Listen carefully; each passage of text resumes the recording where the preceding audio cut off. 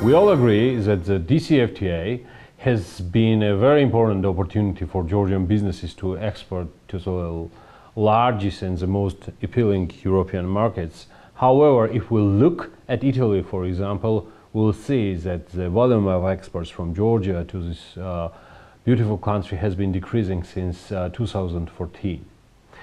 So our reporter, Tamta Jijavadze, asked uh, what could be done in order to increase the volume of exports to the Italian competitive market on the one hand and on the other to make Georgia more appealing for Italian investors. The ambassadorial begins in our checkpoints.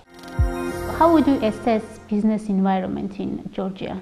Well, my assessment of uh, business environment in, uh, in Georgia is positive uh, definitely positive and it is not only my assessment and if you look at the uh, doing business uh, ranking you will find that uh, Georgia is uh, quite well positioned and then I think it has also uh, a, variety of, of assets free trade agreements which open up a big big market and a position which is very important in terms of connectivity. So what are those factors that hinder uh, Italian investors on, in Georgia? Mm -hmm. Well, the first one, as I said, is the completion of the, of the infrastructure, uh, which is uh, very well on its way, but it's not completely there yet. And that is, uh, of course, uh, an impact in terms of uh, costs and in terms of timing. the, second, the second point has to do with workforce with specific skills. And uh, these are the two main, uh, main obstacles to my mind. But I mean, I don't think that they are extremely relevant ones. They can be both overtaken. And I know that there is a great degree of investment and attention on both of them. So how can we uh, attract Italian uh, investors in Georgia? Uh, how, what, what are their in interests? Well, basically, uh, there is interest uh, in uh, agriculture. As you might be knowing, uh, our big, biggest investment is from uh, Ferrero, which is a quite big company. Uh, they invested more than 70 million euro in, in the area of Zugdidi, so agriculture is one of the sectors, definitely. As I say, the renewables, not only hydropower, but the whole sector for renewables is another sector. And then uh, there are uh, other areas where we can uh, have uh, mutually beneficial cooperation. Uh, so where we, Italian companies, can play a role in uh, bringing forward Georgian economic development.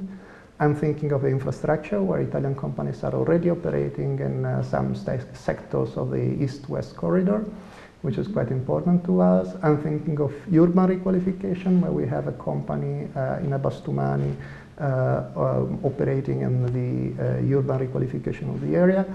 I'm thinking also of uh, uh, provision of certain kind of goods and experience, which is uh, useful for the tourism activity.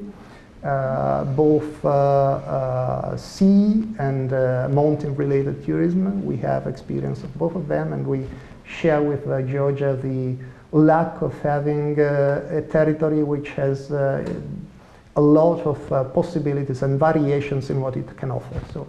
The volume of export from Georgia to Italy from 2014 is decreasing, and it's quite it was quite interesting for me because because of DCFTA, this trade agreement we have uh, that that helps to increase export uh, volume. So how do you think, what, uh, what is the reason of decreasing and how can we increase? If you have a look at bilateral trade from 2008 to 2018, actually it increased by 30%. So those figures don't say anything, no, don't say everything. But of course, uh, you are right in two uh, senses. Uh, the first one is that uh, uh, the potential of our bilateral trade is much bigger than, uh, than it is uh, currently operated.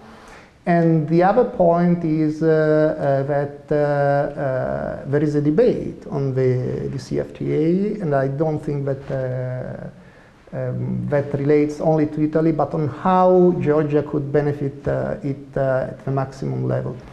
Uh, to my view, of course, the DCFTA is not a quick fix, uh, it's a, a long-term investment. So it brings adaptations and it opens you the markets in a way that makes your products compatible for that, those markets. And it has also uh, financial assistance, which is linked to, to, to, to this process of adjusting compatibility.